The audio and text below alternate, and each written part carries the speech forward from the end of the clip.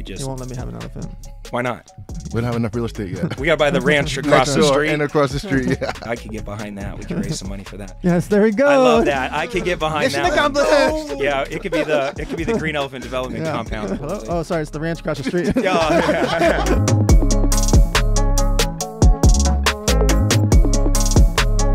Ladies and gentlemen, welcome to the Money Mondays. This is going to be a really easy episode. I have one of my dearest friends here, more like a brother to me, on the stage with us, Money Mondays. Here with, in between, the real Tarzan. This guy gets over 200 million views on Instagram. I'm to have to start changing that number soon.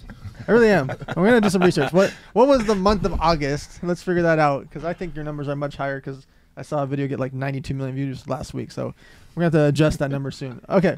So Tarzan's here, and obviously, as you guys know, we talk about three topics: how do you make money, how do you invest money, how do you give it away to charity. Our episodes are between 30 and 40 minutes because the average workout 45 minutes and the average commute is 45 minutes. So we try to stay 30 to 40 minutes to make it easy for you guys, and that's why I've been, been able to stay number one for five months in a row. Thanks to you guys. Make sure to keep sharing, liking, and commenting on the Money Mondays podcast and especially for today's you are going to share it because we're going to have a lot of micro content because we have someone that is the king of social media emails content his clips have been viral before people could spell viral because he's been doing this for over a decade making really amazing content please give a warm round of applause to the clever investor Mm. Thanks for having me on, guys. Damn, 92 million views on a single. God, what, what- don't are you getting bit by a snake again, or what? What, what are you doing? we got a little bit of a crazy formula going on, you know, between Instagram, TikTok. I can't not watch your content. up. Content. By the way. yeah you know the you want to look man. away but you can't Oh yeah, every single time I'm like, he's definitely gonna get bit. yeah. yes That's the key. all right so legally his name's cody sperber i only call him clever investor because out of love you got to call your friends by their nicknames i've never called him michael before i don't know if that's actually his name the real tarzan is the real tarzan to me um, i'm probably i would say that at tsa like this is clever investor so I think you accidentally called me Cody? Cody, Yeah. one time. uh, yeah the whole time I've known you. Yeah, it, he's never called me Cody. i must have had too much sugar I, that day maybe I was in trouble or something. Cody. All right. So the way it works is we do two minute bios so we can get straight to the money. Tell us, Okay, cool. clever investor. Two Y- minutes. Yeah, Go. out of Phoenix, Arizona. I've been re- investing in real estate for 20 plus years. Do, did pretty much every type of real estate under the sun. Um, started off wholesaling and then worked into rehabbing and then owning rentals and creative finance. And now uh, we're building. Uh, we've been developers for the last six years, building from the ground up. Lots of luxury development in Scottsdale, Phoenix, that kind of area. And now we're really focused for the last three years on commercial development. Um, own a lot of multifamily, Airbnbs, that kind of thing. And uh, yeah, uh, two beautiful kids. Uh, what else do you need to know about me, man? I love to make money. I love to multiply my money, and I love to give it away. So I, I feel like I was made for your podcast. How do you have millions and millions of followers before anybody else?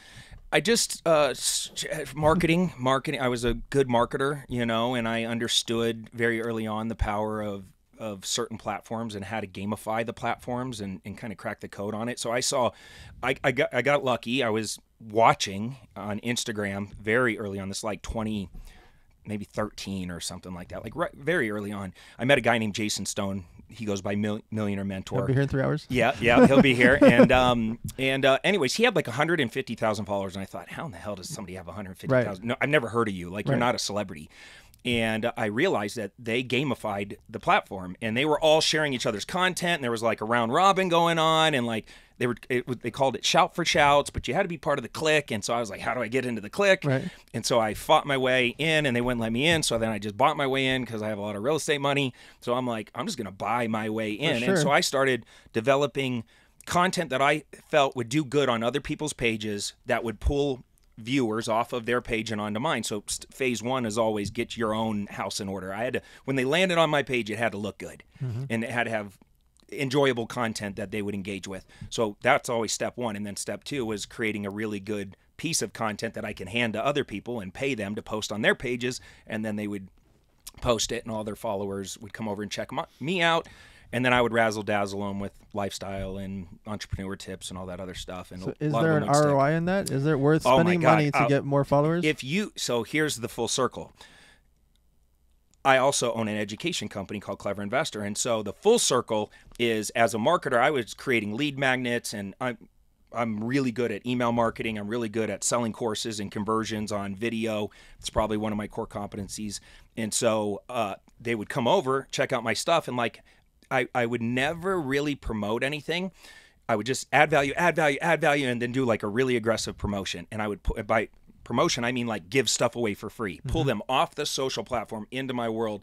And it was always attached. The free gift was always attached to a free online class. For sure. That class sold something which fulfilled the, the loop. And so I gave away from probably maybe like around 20 the year 2015 i probably gave away 65 70000 ebooks and i was making about three and a half four million dollars a year Nice. from the class that was attached to that ebook Mm, interesting. yeah it was a great model and it, it still works today it's a little bit harder a little bit more expensive than it was back then because it, obviously instagram changed Sure. the algorithm but same thing i see people doing it today and as long as you have a good monetization strategy on the back end you could do it So I've been to your offices. It looks like slash film studio, podcast studio, slash boiler rooms. Not, not a boiler room in a bad way, but like sales calls, slash real estate, slash I see pictures all over of houses you're flipping and remodeling, and there's like 18 flips at the same time. How do you manage all this stuff? partnerships partnerships i am definitely not the guy you want out trying to like do construction you know that's not my core competency i i find really talented people and i enroll them and get in alignment with their vision with my vision. And that's really what our job is as an entrepreneur is to, to really just be really clear like this is where we're going this is what we do this is how we do it. Plus having a brand really helps because people see oh this guy's really out there he could drive a lot of traffic. And it's like hey if you want to do this let, let's just take houses for instance i was able to enroll my two best friends who are very talented in their own right and i said listen if the three of us get together we can do this really great business i'll drive tons of traffic to it i'll, try, I'll raise a lot of capital we'll do whatever we need to do you go to real estate school you go to hmm. construction school Nice. and we'll form this amazing partnership. And it's just by having so much clarity and certainty in my vision that I was able to enroll their their big visions of their lives and get in alignment with mine. So Yeah. you also have the Clever Summit. I mean, you've had this for years. You've done 1,500 person, 1,800 person, 2,000 person large. Why throw these large format events? Why should people go to events like the Clever Summit? Yeah, impact, impact. I, I it's a spectacle, and in the real estate space, there it, it's so freaking boring. There's a bunch of boring ass adults talking about you know boring topics that aren't really exciting, and then they come to our events, and you know we got Razzle dazzle. we got fire, and we got dancers, and we got we rent out clubs, and we make it uh, uh, an experience for them. So by the time they leave, they form new partnerships. They really connected to the content because we gamified the content, made it really fun, very interactive, brought in all these celebrities, all this. Like we brought the show, and I, honestly, Dan, I learned a lot of this from you. You know, being around you for as long as I have, like I've never seen you do anything that's not a spectacle. Like everything is like bigger than life. The PR and the branding that comes from just being Right. in your at one of your parties is worth more than the cost of the party. Right. And I once I understood that, I was like, oh, this is a no brainer. And so our last summit um, decided to go big. Oh, by the way, one other thing, I serve really hard to all of my friends. Because when it's time to throw the big boy event, mm-hmm. I can ask for the favors back and say, "Hey, man, will you come speak? Will Right. you come? Will you promote? Will you Right. whatever?" So I could not have thrown a big event without the help of all my friends. That's part one. Part two is once we had th- we had 3000 people in the audience 7000 people watching and because we had a good monetization strategy we made almost 9 million dollars from that one event so these big events do pay off in a, in a major way and guess what we didn't have a single refund because what was on the backside what did we sell we sold avengers and everybody came Right. to our mastermind and they loved the masterminds because they got they we took that experience model and we applied it towards our masterminds so they just it was like all in alignment they just kept getting Why should people go to masterminds or get mentors or get coaches? Yeah, I think um, first off, that's where people that are focused on success go. Right? I, like, I can't always talk to my friends and my family about the things that I'm doing in business, but if everybody cuts, yeah, if everybody cuts the check to be in that room, we're all there for a reason. Right. We're there. We're serious about being there. This is why I like expensive masterminds. It's Where it's it- not awkward to talk about money and taxes and I know if you cut a hundred thousand dollar check to be in that room, and I cut a hundred thousand dollar check to be in that room, we're both there to really take this serious, and we're going to get an ROI because we know the game, Yep. Right? And I've never, I, I have never done something like that, not at least ten x my re- and got a return on my investment by 10. Never. I form new partnerships.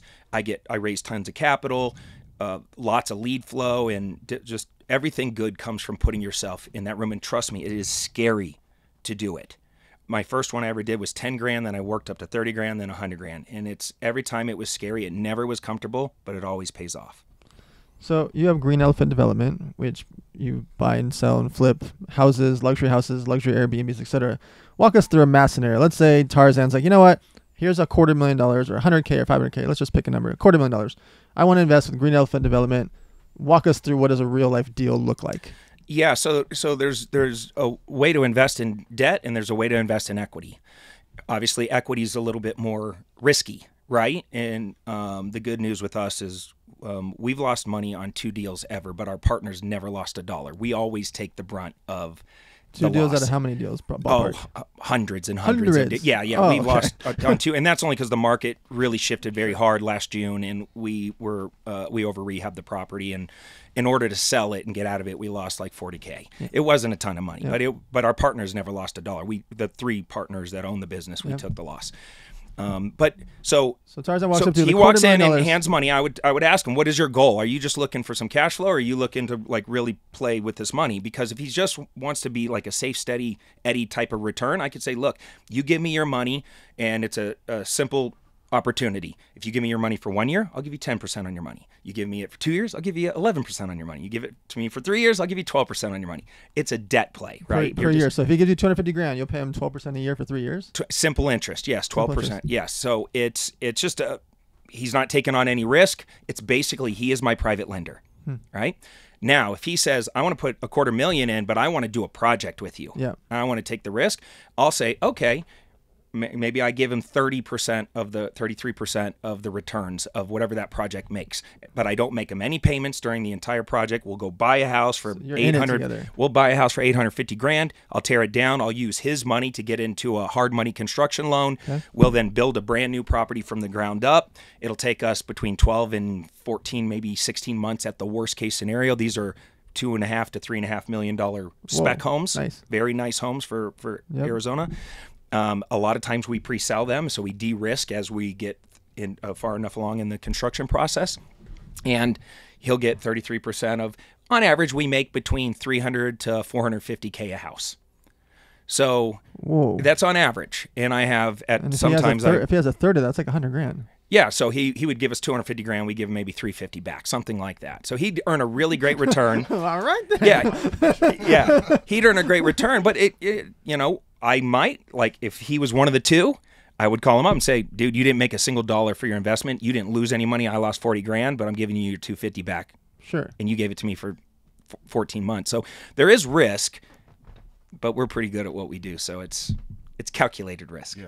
Yeah. And then most people, when they make that, they just run it back, right? They just say, "Hey, do it again." They don't really want the money back for the most part. Yeah, I've I've never really. Well, we've had, um, especially now that the market's changed, we've had some private lenders pull things back just because of their personal worlds Sure. have changed. We the the toughest one is we had somebody call a million dollars back, and uh, we had 91 days to get them their million bucks, which was our agreement with them. Race is on. and we did it. We did it. It sucked, man. It really sucked because we closed a couple deals and we were all excited because you work for a year, year and a half to Right. build these houses, and you're all excited to get paid at the end, and then some lender goes, "I want my money back," Yeah. and you're like, "Okay, there goes all our profit. We'll have to wait another like two months to get paid, but Sure. whatever."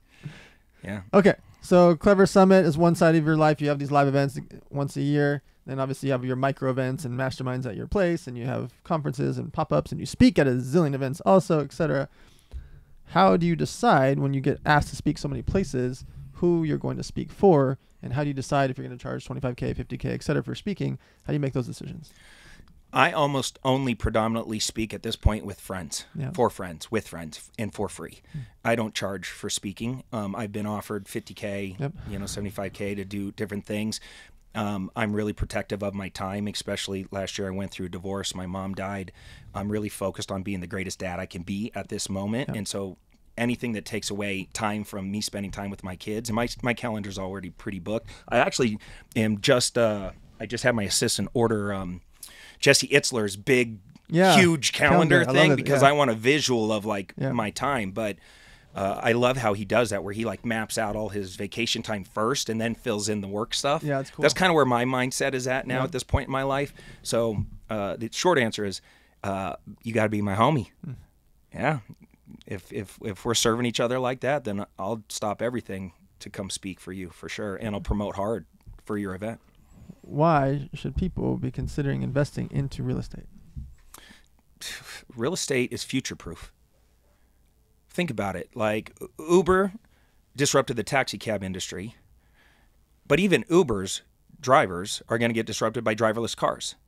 It's not future proof. But real estate, everybody's always going to need a place to live. Right. Plus, it's the most, it's one of the best vehicles to ever be in if you're trying to break free of the rat race because there's tax benefits, there's cash flow benefits, there's future appreciation benefits. There's all these things that make it, and because the demand is always going to be there, even if people have flying cars, they're going to park it in a garage. So it's it's really important for people to like take the time to educate themselves and increase their skills and capabilities when it comes to real estate. This is why hedge funds are buying up one third of every house in America, one fourth of every house in America. What do they know that you don't? Because they're focused on it, but you're not. Like, think about it. And they understand as inflation goes up, we're about to get schooled real fast. As inflation goes up, good, cheap debt erodes. So these hedge funds, they borrow all this money, they take their money and they put it into some bank, and then they buy. They the the banker normally buys a bunch of stock with it, and then they take a loan against their stock, and then they go and buy real estate, and they're borrowing at one or two percent, right? And so, but inflation's at six, seven, eight percent. So two percent. They bought the house with 2% money, but they pay it back with 6, 7%, 8% money. So the money that they borrowed today is worth more than the money they pay back later. So over time, as they're making their payments, the dollar's worth less and less. So what ends up happening is that 2% loan goes into negative interest rate territory over a long period of time. It's really kind of hard to understand because I was never good at math, but I understand money. And so the concept is they bought all this real estate, took took the supply out of the market. They bought it with good cheap debt. Now the inflation goes up. It erodes their debt into negative interest. They're being paid to own this real estate, and of course, um, at some point in the- future, they're going to sell all this real estate and just make an absolute fortune. And so here we are, all these poor commoners. We're watching Wall Street just totally rip all the middle class to pieces right now, and whoever controls the food and whoever controls the uh, real estate controls the vote. And so they're smart and we're stupid. So I just study them and go, okay, if they're buying up all this all these houses on good cheap debt, we need to go do that. And here's the good news is right now it's not too late. 55% of every home loan in America refinanced between 2020 and 2023 into a 4.5% mortgage or less. Okay, or 4% mortgage or less. There, this is a gold rush right now. There's so many homes out there with good debt on them, and we can go to them. Did you have Pace Morby on here? Mm-hmm. Did he talk about creative uh, finance? Twice. Oh, dude. So go listen to that episode. Pace is the king at creative finance. I've been doing creative finance for 20 years now. We are buying houses where the sellers are literally leaving their loans in place. How fun is that business where you get to walk in, take over a house that heavily cash flows with the mortgage already in place? You don't have to go to a bank. You don't have to sign, use your credit. You don't have to sign a bunch of paperwork. And there's sellers all across the country right now that are willing to do this. So that's what we're focused on at, one of our companies is just calling up homeowners saying, "Will you leave your mortgage in place? I'll buy, I'll pay top dollar for your house because it's not about price; it's about terms." So you see like guy like Tarzan, hundreds of millions of views, getting paid by brand deals. Getting he just got a new tequila deal. He's got an energy drink deal coming out. Obviously, we have all of our Wild Jungle products. How do you convince someone as an influencer, whether it's Tarzan or someone that you don't know, to want to shift their mindset to deploy capital into real estate? Um, Because they're used to fast money, easy money, money coming in from internet. yeah, I mean, well, I mean, I don't know how I would convince somebody. I don't think you c- are going to convince anybody. I think, Or change their mindset. yeah, I, Buy some zoos. yeah, yeah. Maybe if I buy something in alignment with what you're trying to do, I don't know. Like, what? Why would you not want to do real estate? Why would you not want to invest your money? I would love to do real estate. I just don't have the time to do real estate. Okay, but why? But but your money, if you have money, you can put your money to work, right? So there's active and passive, right? Active real estate is like a guy like me. I'm in the trenches every single day. I'm house hustling. I'm building things. I'm buying apartment buildings. Um, let, take the apartment building that we just closed on. We bought a $131 million apartment building in one of the best areas in Phoenix, Arizona. We were able to assume a 2.95% blended average interest rate loan. A group of us, my mentor, Vina Jetty, led the charge, and a bunch of us piled in on that, and we bought this apartment building. We're all just putting money towards it, right? And we can expect about a 1.85 multiple on our money right? Plus a 6% pref. And what that means is if you gave me $250,000, you just put your money to work, you'd get 6% on your money during the three to five year hold period while we went in, renovated all the units, and increased the value of the property. In three to five years from now, when we sell it and we make a bunch of money, there's this big chunk of money that comes back, right? And based on how much you invest, you'll get a huge return. Probably, so if you gave 100 grand, you probably get somewhere right around, we're expecting about 185 grand to come back to you. Mm. So that's passive, right? You're not actively doing anything. You're just putting your money to work and you want to do it. So my pitch to you would be don't buy single family. Get into commercial or multifamily because the tax benefits are better for you. And you're already making too much earned income. We need to offset some of that earned income with some real estate uh, investment income. Love that. In, yeah. Why should people or companies or people in the real estate space do more charity? I mean, why should everybody do more charity? It's our obligation. It's our it's I just feel like look, making money's great and it's a game and it's fun and it's especially when you get around other successful people that are really good at it you find all the different ways to do it but there's uh, there's a huge missing component of the joy in making that kind of money. And it's especially coming from nothing. It's your obligation to turn around and help the next person up. This is why I teach. It's your obligation to turn around and, and go upstream and help the young kids right now. They're being bombarded from all these different directions by all these things. It's if we if you have the means, it's your obligation to go upstream and help young kids. It's our obligation to help animals, right? So my company, Green Elephant Development, we build for-purpose businesses. All of our companies have a charitable component built into the business. So even though I'm wealthy and I I invest I um, I give a lot to charity, my company is built in to give to charity. And so ours is Green Elephant Development. We give a portion of every house proceed towards elephant conservation. See? So so that's that's our that's because I love elephants and I love animals and I wanted to be a marine biologist when I was young. So I was like, how do we build something in to help animals? One of our other companies helps kids. Um, and we build bottle schools in third world countries, mainly Guatemala. Um, we've raised millions of dollars to build these schools out of trash, and the and the charity is called Hug It Forward. Um, my good friend Zach Bali runs the charity, and I've been funding him. I actually bought him an RV to travel around the country nice. so he can raise money, um, and I pay his expenses so he doesn't have to use any of the money he raises to live off of. Hmm. So I'm the funder behind the scenes that funds his lifestyle, so that way he can raise money and it all goes to kids. And then with um, Chandler Compadres, we raise about 1.3 million dollars a year. It's all local, so I pick a local one, a kid one, and an animal one yep. to get involved in. Our local one, we're the number one funder of the Boys and Girls Club. We give about wow. a million, million three a year to the Boys and Girls Club, Whoa. and it's a men's group in my local area called the Chandler Compadres. We have a golf tournament and then a party that we throw once a year. And we raise this money and we donate it to kids. You said something for purpose company. Can you walk us through what does that mean? Yeah, so this is uh, something that my good friend and one of my business partners, Cole Hatter, taught me about many years ago, and I, I just loved it because I was always the one that would make money, and then I at the end of the year or whenever I would donate right. as a person. And then he was like, "Dude, don't do that. Build it into the model of the business." So, and since I heard it, I was like, "This is brilliant." It's like Tom's shoes, right? buy a pair of shoes, one gets donated.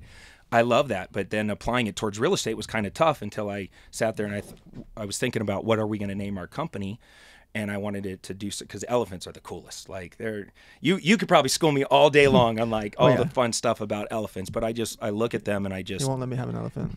Why not? We don't have enough real estate yet.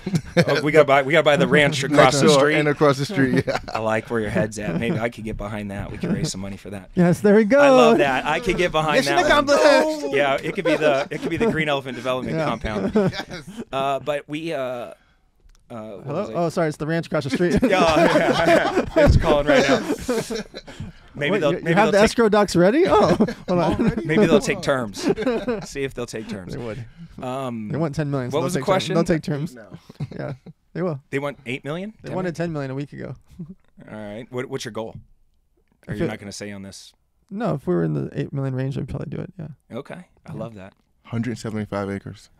I saw it. It- I saw it when I was over it's there. got the mountains all the way to the freeway. It's an unbelievable ranch that you guys have right now. It would be add that on and Keep it's going, just keep, be over keep going, keep going, keep going. We put tree houses there, have the elephants eat I like I like this Tell them- Airbnb. We need 3D renderings. We'll put, Yes. we'll put luxury Airbnbs around the around the lake there. Huh? Okay, Huh? all right, I'm buying Huh? in. Come Huh? on. I'm buying in. Little How much? giraffes The, the one they have, the, the giraffe one, is sold out for like two years in advance at like three grand a night. Yeah, ridiculous. Wouldn't you like three grand a night? I, I think I, I, shit, you guys are starting to you're starting to speak my language here. Well, I don't even know what the question was. Something about elephants. Yes. Yeah, he's gonna docu you sign in a minute. One second. okay. Last thing. Where do people find that? We're gonna have you on multiple times. Obviously, we're gonna come back to the Money Mondays. Where do people find a clever investor? How do they get into your world? What's going on with you? Like, how do they find you? Yeah, so I got a podcast called The Clever Investor Show, Oh, yeah. which uh, I'm like number 97 in some foreign foreign island somewhere compared to this show that somehow magically has been number one since the day it Five months ago. really unbelievable. Um, uh, yeah, and just uh, you know, Instagram at Clever Investor. I'm pretty active on that. Um, answer my own DMs. Try to like help out as many people as I can. Turn them on. Just I go live in the morning. Just talk about financial literacy and just different thoughts that I have. Um, you know, uh, YouTube channel, all the same shit everybody else has, but. I'm trying honestly, dude. You know what I want to do? I want to I want to make so much money in the next 36 months that I shut down all of my social and I disappear. So if in 36 months and one day I go off the airwaves, it's because I hit my financial targets and I am a ghost. like I don't care about social. I don't want anything to do with anybody. Like I want to just go off into my world with my kids and my family and just disappear. And your elephants. Yeah, and some elephants. Oh, dude, that would be the best. Across the street. Okay, yeah, I'll be. In, in other words, I'll be at the Hey, tent Siri, pull across up the street in DocuSign. your- Oh, gosh, no Airbnb. worries. All right, guys, you're watching the Money Mondays. Make sure to visit themoneymondays.com if you want to register with us. We do our weekly coaching every Monday at 4 o'clock. We give all that money away to charity for the world's largest toy drive. 10 cities in 15 days. Don't ask us how, but we're going to do it. You can watch us on social to break the Guinness Book World Records for the toy drive. We'll be doing that in Phoenix with the Clever Investor, with his staff there. Have these discussions with your friends, family, and followers. We all group thinking it's rude to talk about money. We think it's rude to not talk about money. That's why there's a lot of credit card debt in our country. Finance people can't spell the FICO scores and IRS. They don't know how to spell these things because we don't have these discussions in school or with our friends because it's rude to do that. It is not rude. You need to have these discussions. Share the Money Mondays podcast. Talk to your friends. Follow the Clever Investor, and we'll see you guys next Monday.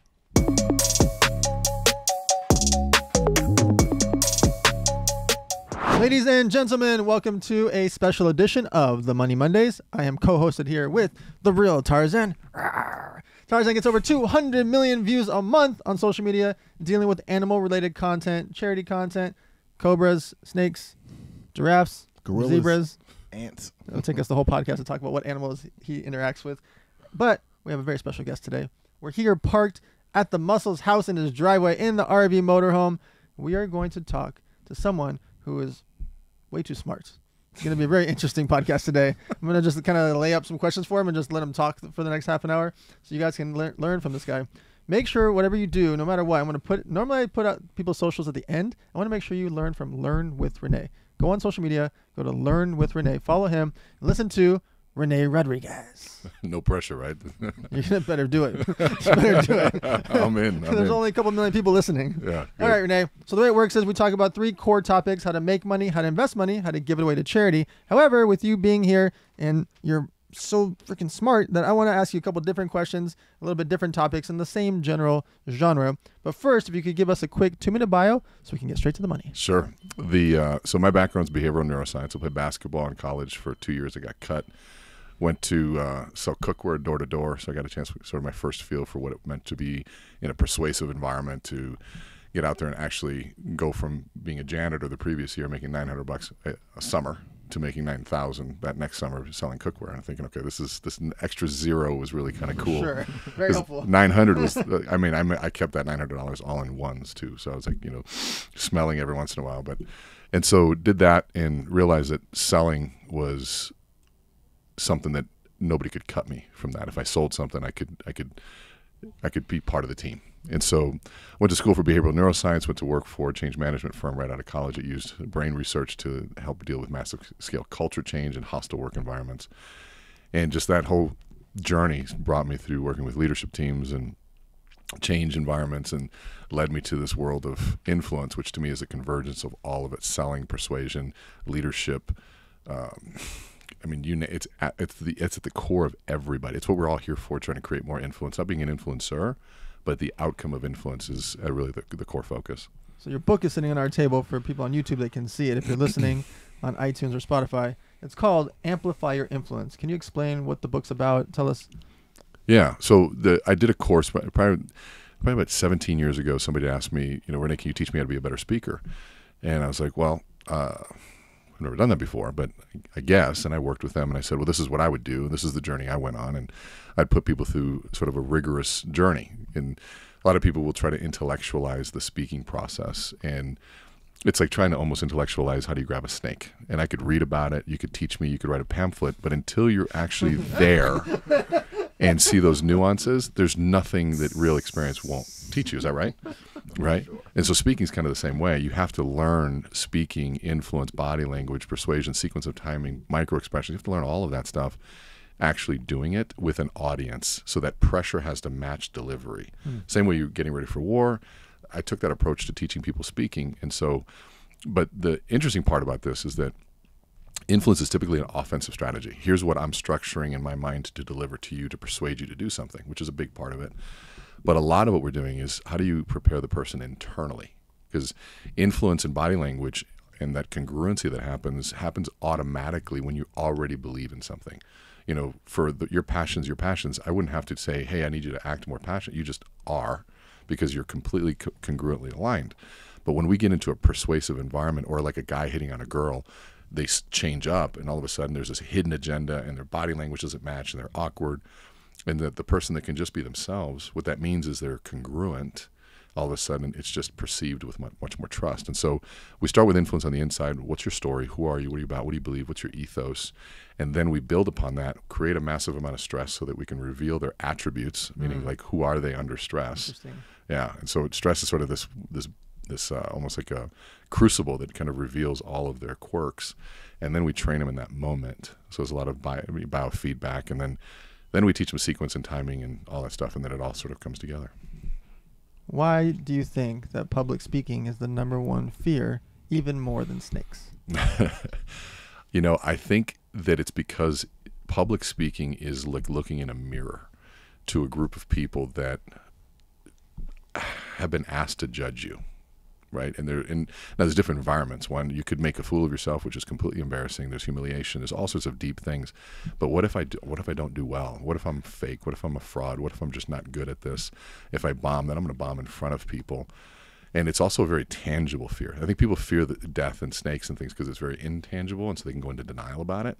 But if, I guarantee you, if you gave somebody a, a cobra, that king cobra you're talking about, or speak in front of the room, they'll choose speaking because it's it's in front of them. But they can conceptualize humiliation much more than they can conceptualize being bit by a snake. Mm, fascinating. Yeah. So, as someone is considering getting into the speaking world, you speak nonstop all over the country, like 100 times, 150 times, 200 times a year. It's insane. And you throw your own events that are sold out around the country. How do you, one, decide when you're going to speak? Let's say someone's paying you 25 grand, 50 grand, etc., to speak at their events versus throwing your own events, working at home, traveling. Like there's just so many moving parts. How do you make decisions about when you're going to go speak, throw events, etc.? Well, I think I used to think that the bureau route was the way to do it. My my whole and this is actually a great conversation of how you're making me shift how I think about our business. As a speaker, you think, okay, the amount of speaking gigs a year is one of the metrics, and then the, the, the speaker fee is a metric. So those are kind of the two things you're trying to get at, and you go after that, and you think bureaus are the way. And I don't know, I could never penetrate sort of the the the network of bureaus. Like I, I knew I'm all I'm on all the bureaus, but really never got any business. And so we said, you know, and I watched a lot of my buddies that have that. And the moment that the market would shift, their business would drop. We started creating our own events, and we're like, okay, well, it's almost bureau proof, recession proof, in the sense of saying, okay, I've got this offering. I never wanted to do public events because I didn't want to get into, into, the event business. But then I found somebody who, Jenny, who does this already and did it for a big company. And so she's like, I can handle that piece of it And then my wife comes on board, and she's a driver, and she's like, "Well, let's just book out the year." I'm like, "But we haven't sold any." She's an executor. Yes. yeah. She's like, I don't care. Get dates on the calendar. I'm like, but what if they don't show up? She goes, we'll make them show up. I'm like, Yeah. and that's that's not how I think. That's how I think. She's like, okay, let's just book. And the, the, that's when everything shifted. You was build it, they will come. Mm-hmm. I never believed it. And all of a sudden, we did. I did like four one year, and that was like my big goal. The next year, we did 34, Oh my God. sold out. 34. 34 at 6,000 a person, sold Right. out. And the next year, another 34. And I'm going, and we're like, we're, we're rocking. Then I meet you, and you're like, you're doing it wrong. I'm like, it does feel like I'm doing it wrong. it's like we 34 maxed is a out. lot. Well, we maxed out the wrong model, though, right? And so, I mean, I, I'm I'm transparent about my journey and how I learn about this stuff. That's what we'd like here. That's exactly what we do. Is we Good. talk through the real details. Yeah, and so it's like you know, you you maximize. You did. I think it's 239 days I spoke last year. What? Mm-hmm. It was either virtual or in person, most of which were in person. And we go, okay, so let's just keep riding this and keep pushing it. You know, the book really, you know, was something we wanted to keep pushing. And then we go, okay, that's not the actual uh, goal because now all of a sudden I'm speaking nonstop, and everything is is is going like this, but I'm also never home. And so, yeah, the money was good, but then the balance wasn't there. And so my wife and I was like, okay, there's got to be a better way. Right. Okay. So when you see someone and it's time to reframe them, right? How do you have that blunt discussion with someone that has an ego, is a boss, is a CEO, et cetera, an athlete? Uh, Yeah. how do you reframe someone that thinks they know everything? so there's a few things. One, you have to be asked to do it. Like you, you can't come to them and be like, "Hey, this is what I think about you." Why? Because they'll be defensive, or Yeah, they'll be immediately defensive. I mean, one, they've they've earned that boss mentality or that influence for for a reason, right? They've earned it, and so one, you know, I, I'll tell people they go, "Well, Rene's in the room. I'm a little nervous." I'm like, "Trust me, I'm not judging you at all. I'm not on the clock. You haven't asked me. I think you guys swear on this podcast." Mm-hmm. No? No. Okay, good. So, so I can I'll use the word jerk, right? It kind of makes you a jerk, you know. If you start saying, "Here's feedback you didn't ask for," like I'm not that guy. But you get somebody who is really good at what they do. There's usually an agreement up front. I said, "Look," it goes, "You're asking me for your help." I said, "Do you really want it?" Number one. I said, two, I'm going to tell you things that most people won't tell you." Mm-hmm. I said, "But I'm coming from a place of I already respect what you're doing. This is not about me making you better or you doing something wrong. This is about maybe there's another level to this for you." and everybody has that next level. And so we try to reframe the idea of saying, okay, there's you know because three of the speakers here at the event I'm working with, they're they're talking. Right. These guys are already pros, but it's what's that next level, right? And so at that point, sometimes it becomes a a bouncing off, or you know maybe if because I'm entrusted, I can say things that others maybe can't say to them. Yes. So it and you have to care enough to say those things. So I try to one make it their idea, and two make them want to be the one. Sometimes if it's not their idea. So what I mean by that is, we have four levels of masterminds: 10k, 15k, 30k, and 100k. Getting someone to pay $100,000 or invest $100,000 in themselves, I need them to be fully bought in. Says it can't be fear based because it's too much money for them to be like, okay, I'll take a shot. No, it's hundred thousand dollars. It's not like a gamble or like throw it out. You don't just throw it on a credit card. That's not how it works. It's a big investment themselves. So the way I explain it is, well, you have to do at least ten million dollars in revenue. Do you think that the twenty-two other instructors and the hundred members in the room can help you save or make one percent? If the answer is yes, then it's free. Yeah. And that's how I sell out every year since 2019. 100 people, 100 grand each. Because I'm making it so simplistic to them that they can see it visually. Like, well, I did 18 million last year. If he saves me 1%, I'm in, right? Yeah. And so from there, I then need them to be bought in that they show up to every event. They're on the Zoom calls. They want to be coached. Same concept with one-on-one coaching. I do 100K coaching, but 100K is all 100% donated to our toy drive, to the world's largest toy drive. It's 100% donation.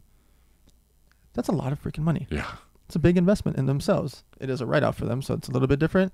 But they have to be someone that can afford $100,000. Typically, is not usually getting a mentor or advice, even though they all should be. Yeah. And I'm really blunt about it. I would still listen to everyone. I the reason I I sit front row at the events I speak at, listening. Oh, there's Tim Grover. There's Andy Frisella. There's Ed Mylett. You think I'm leaving? Yeah, Yeah. right. These are guys that are doing 400 million and 700 bazillion and training Michael Jordan and Kobe Bryant. Like I'm sitting front row listening. Absolutely. No matter what, how big, famous, whatever I get in my, the course of my career, I'm sitting front row when I'm 82. Yeah. I don't care if I've got 19 billion dollars. I'm sitting front row Yeah. because I want to listen and learn. Because what if I do have a billion dollars and I learn 1%. The same pitch I'm doing to other people, what if I do to myself? Yeah. And Tim Grover tells me something. Rene Rodriguez tells me something. Tarzan teaches me something. I want people that are listening to forever be a student. No matter how rich you are, how famous you are, how much you think you know it all, you always want to be learning. Because if you are that thing that you think you are, which probably not, but if you are, God bless you, you need it the most. Yeah. You're doing 100 million? What if I can make you 3% from one little thing? I love that. And it's not a theory, it's true. if someone teaches you how to save 1% of your taxes, or Rene teaches you how to like reframe this with your employees, and now your employees sell a little bit more at each day. Well, if you've got 40 sales reps, they sell a little bit more each day, times 300 days a year. Holy smokes. Rene just made you an extra gazillion dollars from one little thing of how they just do their introduction on a sales call or how they frame their sales call. That one little thing. So no matter how rich you are, how big you are, how you should always be wanting to learn. Okay. So on the investing side, why should people invest into themselves? Why should they hire a mentor or hire a coach, go to a mastermind, go spend six thousand dollars for your event? Like why should people invest in themselves? You know what's what's fascinating, and I love how you framed the it's a one percent return. We're spending that hundred thousand dollars already. Like Right. we're we're spending it in other ways. Like there's you can you can misspend a hundred grand in a business For sure. On a Wednesday. Oh, yeah, just just doing stupid stuff. And but when you have a focused intentional investment in that, now all of a sudden you're you you can hire a hundred thousand dollar employee, but that's one person, one skill set. Those masterminds, you're paying a hundred thousand, you get access to all of it, and a network. Yep. And I mean, just even being here, walking around, like what Charles is here, he's like he's like I'm in just to be around. Right. And when you understand the knowledge of proximity or the, the value of proximity and the value of being able just to be next to somebody, rubbing el- elbows with somebody, the ideas and the deal flow and just concepts of overhearing something that you can then implement is incredible. And the investment in yourself, I- and I, what's funny is it's become a cliche. And so when we would say, we got to invest in yourself, and we all hear it so often that we almost build a callus to that idea. But you have to think about you're the one executing every single day. You're the one that, that has to get up. You're the one that has to do all these things. Like I had to invest in myself very differently this last year in health wise to get myself physically there. So if I'm 239 days speaking, I better For be sure. high energy. I better be Sleeping. sleeping, good. Mm-hmm. I better watch my salt intake, which actually I had to increase it, which was fascinating. Hmm. I had to get rid of uh, bread, and you know, so I didn't look like puffy on on camera. I mean, there's like so many things that I had to think, and that all costs money, like all of it, and it's an investment in me. And then just one idea, one person, one proximity to be around someone else, it, it you just have to do it. You have to do it. And why? Because everyone, and here's the thing I was going to say about you. You said, I'm a lear- learner and I'm a student. But we say, well, when I get to his success, I'll do it. No, no, no. He was a student first. Yes. And he, it's because of that. It never stopped. yeah, it was there first. Even when you weren't making money, you were in that front row. So, yeah, I think it's whatever you have to do. If you have to take out a student loan, do that. And I mean, think about it. Don't go to college. If you, if you don't like college, not your thing, then think about that two hundred fifty thousand dollars as a budget that you can go. If you want the debt, go take that debt and invest in stuff like this, and watch that watch that come back to you in, in droves. So this is a fascinating topic. So mass America and all over the world consider college the the normal thing to do. You graduate high school, you go to college, you get married, white picket fence, and two kid, two point four kids. Right? That's the progress of the perfect life. And then American you reti- dream. Yeah, you retire at sixty five, and you've got that's it. There's a lot of changes that have happened. One, people realize that having college debt for most industries doesn't make sense. Yeah, Does it make sense to do that for a doctor, lawyer, etc.? Of course it does. totally. For most people, they don't actually end up using what they go to what they go to college for. So then it doesn't make sense to spend 30, 40, 50, 60 grand a year to go to college. The difference also is, and what we talk about on this podcast, you literally have to get rich because you're going to live a lot longer than your parents. Yes, So this is a rabbit hole that people don't go down. outliving wealth. So here's the thing. We grew up, if you're between 30, 40, 50 years old, there wasn't a Whole Foods. what the hell's Whole Foods? There wasn't a gym on every corner. What's a gym? There might be a gym like 17 miles away and there's one of them. There wasn't a gym on every corner like there is now. What's vegan? You, can when you talked about veganism, like no nobody had the things you're talking about. Nobody could do mental health. Nobody had like cryo. Nobody had cold plunges. There was nobody talking about saunas and why you needed it. There was no nu- nutrition programs and peptides and people doing. There was no Gary Brecka telling us about analysis and deep breathing. Breath work. What the hell's that? hmm None of it existed even 10 years ago, let alone 20, 30 years ago when we were kids. So, anybody that has children that's listening, your kids are going to live a lot longer than you. But boy, oh boy, their kids are going to be 100, 110, 120, 130. And this is not like a theory or like down the rabbit hole. This is real It's reality true. because they're growing up healthier. They're eating healthier. They're understanding about going to work out. They're understanding about their bodies and their minds, etc. Really early. When I was growing up and you were growing up, we were having Slurpees at 7-Eleven. and we put a quarter on the arcade game and we'd have Slurpees all day long and 64 ounce, The good old days. yes, and refill 64 ounces of sodas I got right? next. right? And we would go to Jack in the Box because that was the only meal we had, right? Because it was a dollar. And so why I say that is we have to have this blunt discussion, and you might hear in my voice, you literally have to get richer. Yeah. Because what if you want to retire at 65 to 75? Well, we used to pass away at around 82 years old, women at 84. So you only needed about 15 to 20 years, which means you still had to have 50 to 100K a year. Let's just call it 100K times 15 years is 1.5 million dollars. It's a lot of money. People don't have that saved up. Most people don't have 1,200 bucks saved up, Yeah. let alone 1.5 million dollars. What if you live to 102 and you want to retire at 65? You need 37 years of money, not counting inflation, not counting medical expenses, not counting anything bad happens to someone in your family. If everything goes smooth for 37 years and you want 100k a year, even if you only want 50k a year, that means you need 2 to 4 million dollars saved up. I don't know about you guys, I don't have a lot of friends that have 2 to 4 million bucks saved up. And I got a lot of rich friends, and very few of them have 2 to 4 million bucks sitting in cash anywhere. So we have to have these discussions that it is okay to talk about money and you should talk about money. We should talk about investing. You have to build up assets because you are not going to have two, three, four million dollars saved up from your job. That is not going to happen. No. You have to take money that's coming in from your job and invest it into things, whether it's real estate or S&P 500, etc. Things that you can just lock up money away so that when you do retire, you've got way more money saved up because otherwise you, you're going to be working when you're 83. Yeah. Okay, third topic. So we talk about making money, a bit about investing money, investing to yourself. Talking about on the charity side of things. Why do you think that it's important for businesses or people to do more things with philanthropy and charity? Well, so I think that there's you, there's a there's a whole spiritual uh, faith side to these things. I think that there's a humanity side to these things.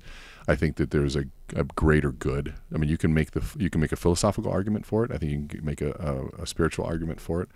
I think you can just make a um, pragmatic ar- argument for it.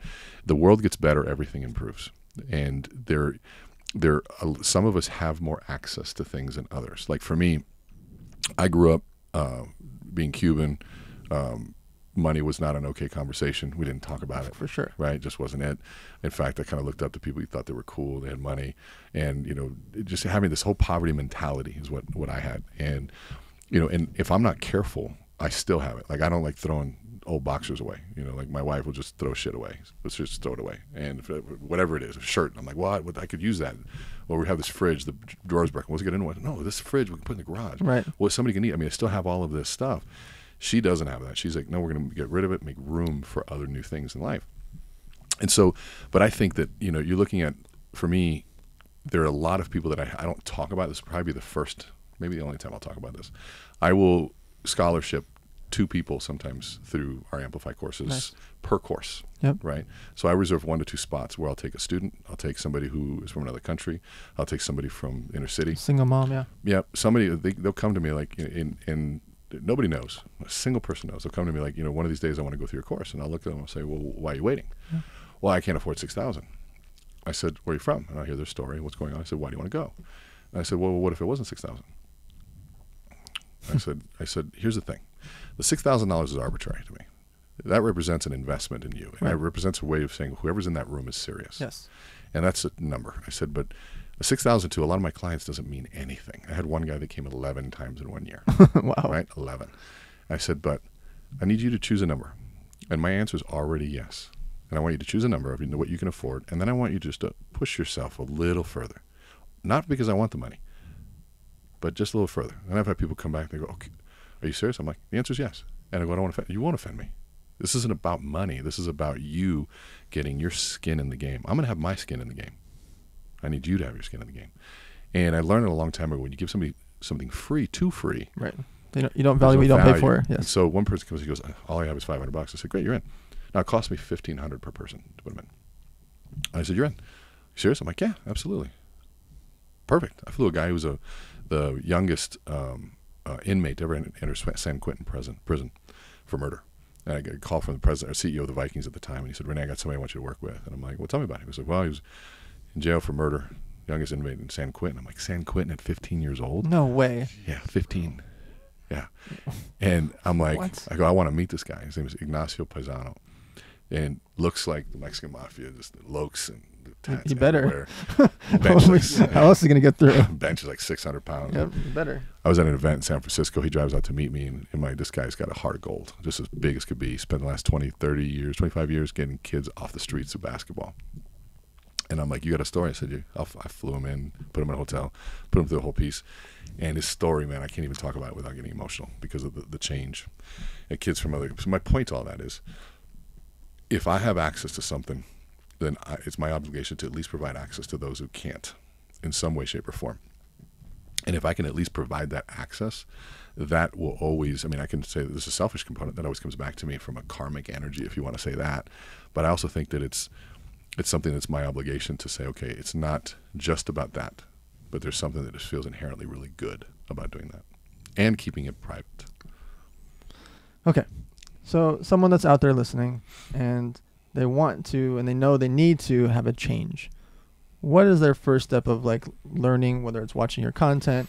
How do they start their learning process and then make that jump where they actually go to an event, hire you, go to one of the tour events, etc. Like what are the initial steps to say I'm going to make a change today? What are the first thing they can do? Read your book? What do they do?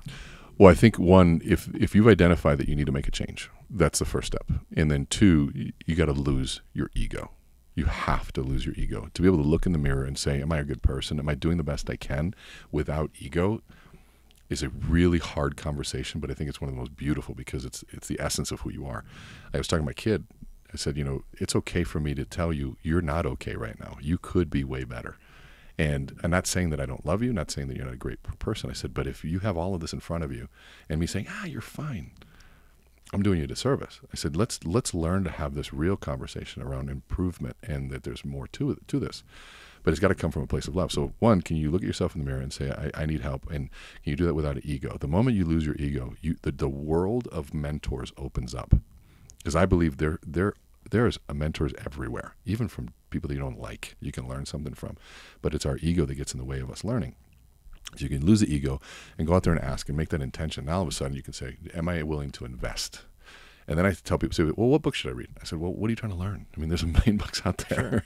what do you want to learn? What do you want to get better at? Find the best place that you can and invest as much as you can into that, and start that process. For me, my I, you can my podcast is free. Some people say this is my best content's on my podcast. What's the podcast name? Uh, it's the Amplify podcast, and the book is chalked with information. It's twenty bucks, right? I've got uh, online coaching. We do coaching for ninety nine bucks a month, and that to me, some people are saying, "Randy, you should be charging two thousand dollars a month."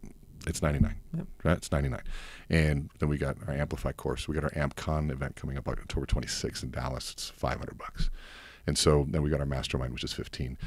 We got all sorts of ways for people to be able to engage with the content, with the ideas, no matter what walk of life you're in. All right, guys. So we're gonna have Rene multiple times a year. So we're gonna obviously have more more deeper discussions about different aspects of what he's doing. He probably has another book or two or three or four coming out. I'm sure. So make sure to check him out at Learn with Rene, and have these important discussions with your friends, family, and followers. Yes, there's helicopters. We're in an RV motorhome. It's perfectly fine. love it. Uh, there's a sound check going on. We're about to have a freaking 200 person party here. Everything's fine, guys.